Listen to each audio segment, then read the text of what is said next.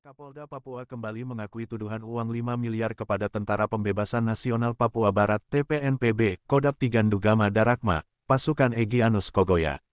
Kapolda Papua Irjen Pol, Matius De Fahiri memberi penjelasan terkait rencana memberi uang 5 miliar rupiah kepada Tentara Pembebasan Nasional Papua Barat TPNPB yang menyandera Kapten Pilot Susi Air Philip Mehartens.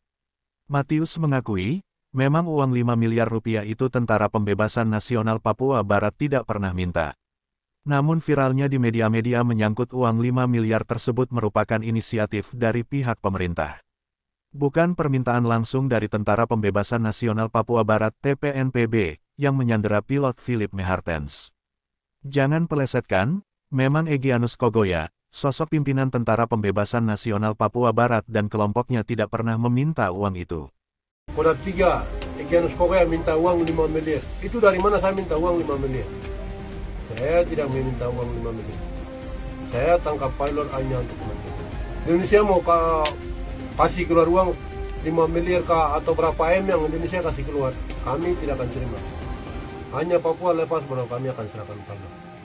Kalau Papua tidak merdeka, kamu tidak akan serahkan pilot. Yang ada, pada saat kejadian tanggal 7 Februari kemudian tanggal 9 Februari itu kami lakukan pertemuan dan saya sampaikan, kalau dia membutuhkan uang yang penting tidak lebih dari 5 miliar rupiah, pemerintah siapkan saja. Yang penting pilot ada sama kami, kata Fahiri di Polda Papua. Fahiri menyebut, pihaknya mengupayakan jalan terbaik. Seluruh media di TV maupun di media mana, di media mana ada isu-isu bahwa tidak di Orang tiga ada minta uang 3 miliar. Itu mau kosong. Dari mana saya minta uang 3 miliar? Saya tidak meminta uang. Saya tangkap pilot itu tidak minta uang. Saya hanya minta kemerdekaan. Hanya satu itu yang saya tangkap. Namun, untuk permintaan senjata dan amunisi serta kemerdekaan, pihaknya menolak dengan tegas. Kita akan mau cari solusi untuk tidak ada lagi dampak lain dari kejadian itu. Sehingga apa yang dibilang Egyanus dalam klarifikasi video itu benar, mereka tak pernah meminta uang 5 miliar tersebut, tegas Fahiri. Sebelumnya, Kapolda Papua Irjen Matius Fahiri mengaku bakal membayar tebusan 5 miliar rupiah ke Tentara Pembebasan Nasional Papua Barat untuk membebaskan pilot Susi Air, Kapten Philip Mehartens. Namun, tidak untuk permintaan senjata dan kemerdekaan. Rencana ini juga turut direspons, Panglima TNI Yudo Margono.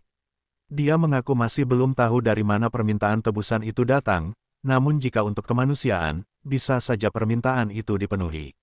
Ya, kalau permintaannya itu, ya, kita penuhi demi keselamatan semuanya, kata Yudo di Istana Wakil Presiden, Jakarta. Saya enggak tahu tadi permintaan itu dari mana. Kami belum tahu itu. Tetapi, ya, itu tadi untuk damai dan kemanusiaan apalagi menyangkut nyawa manusia. Artinya tidak ada apa pun yang seharga itu, lanjutnya. Meski demikian, Yudo menekankan hingga saat ini pihaknya masih terus bernegosiasi dengan Tentara Pembebasan Nasional Papua Barat atau TPNPB Papua. Untuk negosiasi dilakukan oleh PJ Bupati Nduga.